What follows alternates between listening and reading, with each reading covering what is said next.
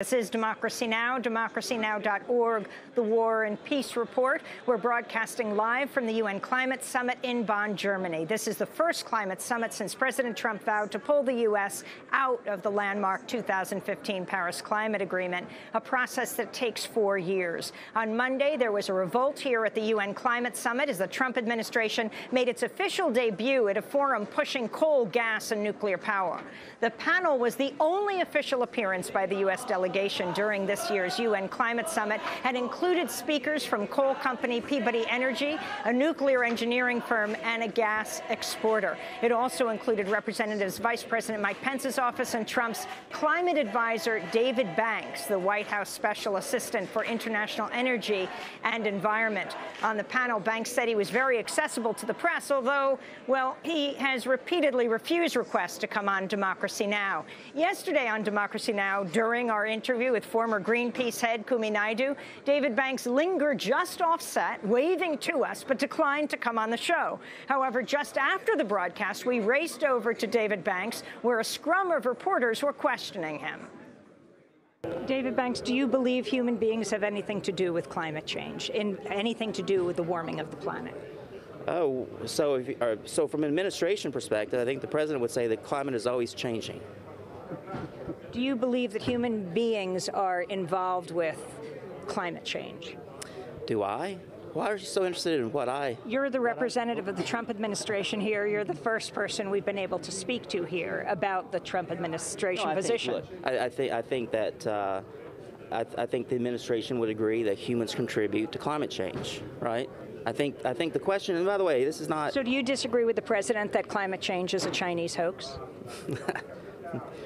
Look, um,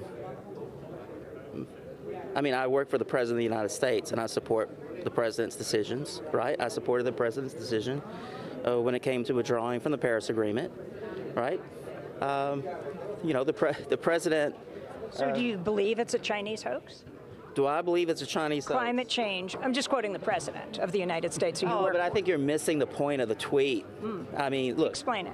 Oh, no, the, the point of the tweet was again, we talked a little bit about this last night. You know, the president views climate change through the through the lens of you know, or climate change policy through the lens of, you know, what does this do to U.S. manufacturing? What does it do to U.S. competitiveness?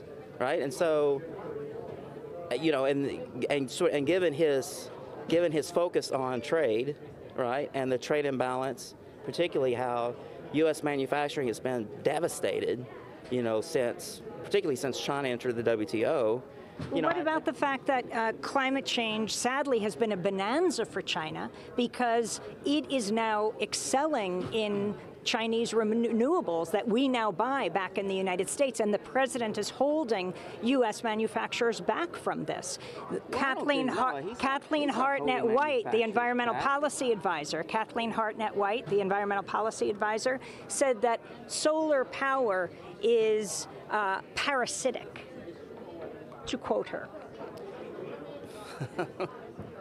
you know, the, I, love I love these quotes that you're pulling out. No, I mean, look, uh, look. The president, the, the, president is not holding back renewables, right? The, the, one of the one of the key objectives of the president and, and this administration is to make sure uh, that we truly do pursue an all the above approach, right? To make sure that, that all energy sources and forms uh, have as much of a level playing field as possible, right? Well, we believe in competitive markets for energy. I think, uh, but, but your point on China, though, is an interesting point. So when, when you're looking at uh, our solar manufacturing sector again, I mean, I was, I was really surprised by how uh, devastating uh, trade has been for our solar manufacturing, right? And the re- and look, uh, China's not a market economy. China, if China says, hey, you know, here's a sector of, of the economy. What about if the U.S. government gave after? subsidies to wind and power and other renewable technologies in the same way it gives subsidies to the oil industry, to the fossil fuel industry? Look, uh, people people love to make the comparison. I'm happy to talk about subsidies, but that's kind of an apples to oranges conversation, right? Because oil, if you just look at oil, oil, I think maybe we use, maybe oil accounts for maybe one percentage point of U.S power generation, maybe, maybe, and I, I think that's probably right. But no, I mean, look. And you're pushing for a higher percentage for coal right now. That's what the panel. No, no, no. We're not. No, no, no, no. I think no. We're not pushing for a higher percentage. Uh, I think if my domestic policy colleagues were here, they would say we just, you know, we want to make sure that we that coal has a level playing field and that it doesn't that it's not facing you know, uh, oh, you know, burdensome regulations. Can you tell me why there weren't representatives of solar and wind um, on the panel yesterday? Just nuclear, gas, and coal. Why? This is the U.S one of the people who was in the audience said, what is this QVC shopping network? You're selling coal, QVC, gas. We're not selling coal. Coal, gas, and nuclear gas, power. Where was, so, where power? was solar what and was wind? conversation about? For a level playing field, where was solar and wind as well? We didn't need to include renewables on the panel because renewables are everywhere in the COP, right? We want to make sure that we have a rational discussion on technology innovation, right, for fossil and uh, make sure that nuclear has has a good plug for as well, right? Because of the role it plays in climate mitigation, not only in the United States, but across the world. Uh, David Banks, you said that you wouldn't, uh, that you don't disagree with the president uh, when he is a proud climate change denier. How is it that you can go against the consensus of more than 95% of the world's scientists? Are you a scientist yourself with different kind of data than the rest of the world has? I am not a scientist, but you know, I'm an economist, and so therefore I understand. So these are scientists talking about climate the, change. The, Yes. So, so, are you saying it's not that you disagree that humans are involved with climate change, you just disagree with the solutions for the problem of the world's seas rising? You actually believe human beings are involved with climate change, but you disagree with how to deal I with think, that. I think the administration would say that humans contribute to climate change, right? I think the, the, the, the real disagreement is, is the, the policy that's, that's not what presented. President Trump said. They say that well, climate think, change no, is a I hoax. Think, I think the president would say that.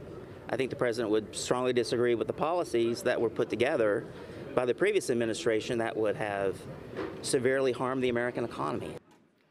That's David Banks, the White House Special Assistant for International Energy and Environment. He's Trump's climate advisor. When we come back, we'll get response from the renowned climate scientist, Kevin Anderson. Stay with us.